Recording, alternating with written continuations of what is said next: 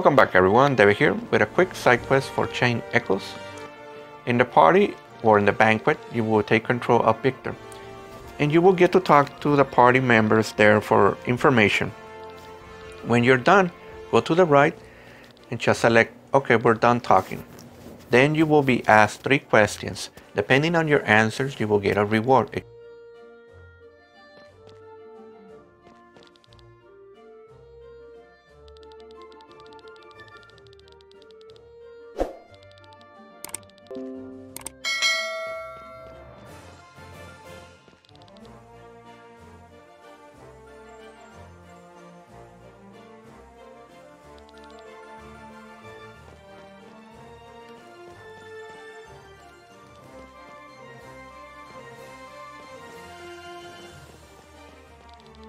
The first question is from Sigurd.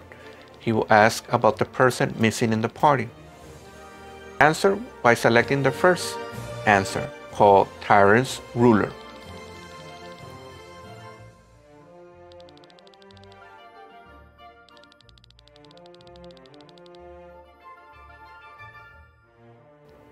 The second question, he will bring her daughter to meet you.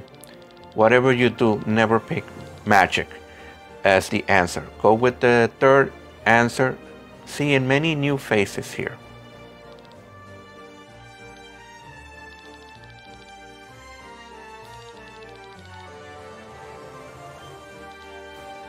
And last will be a character almost dressed like a Roman, something like that, called Sachus. He will introduce Sir Raphael.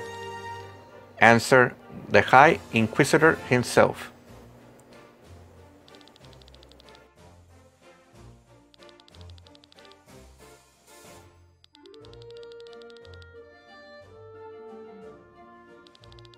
After this, your friend will tell you how you did with the guests in the party and they will offer you a reward. If you did perfect, you will be given the life ring.